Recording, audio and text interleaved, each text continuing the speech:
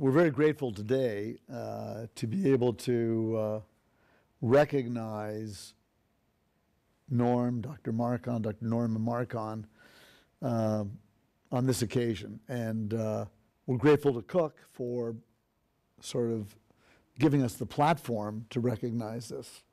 And uh, uh, that honor, Norm has been awarded uh, uh, one of the, the highest honors that a Canadian citizen can achieve in service to the country, uh, which is the Order of Canada.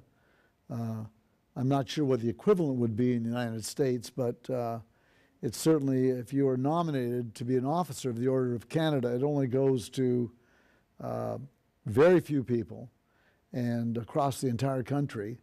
Uh, and I, I think that this is uh, entirely appropriate. It's a wonderful occasion. It's something we'd love to celebrate together. And I'm not sure if I have to call you Sir Norman, but, uh, but uh, you know, I, I think uh, as humble as you are about it, I think we're all very proud of you that you've achieved this, and uh, we all think you deserve it. All the things that have happened to me, even this uh, little badge that I'm going to be getting, etc. It's and, and, and one of the nice things I think about it is that although it's said to be recognition of me, but I think the most crucial thing is the recognition, you know, like, that's fine, I may have had a couple of little ideas or been headstrong or, you know, that type of thing. But they never would have happened,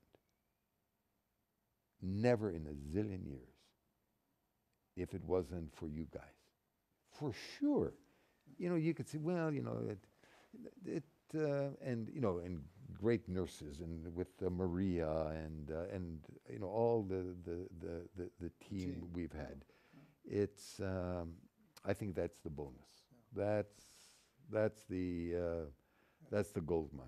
That, that, that so-called little badge that you referred to, you're, you're very, very humble about that, is uh, one of the highest honors you can have in Canada, uh, the Order of Canada Medal, and it's, uh, uh, we're all very proud of it, and it's great to see that a physician, a gastroenterologist, and endoscopist rises to that level. It, it's, it's in honor of you, but as you say, it trickles down that all of us feel this is terrific, that uh, somebody in our field can achieve that.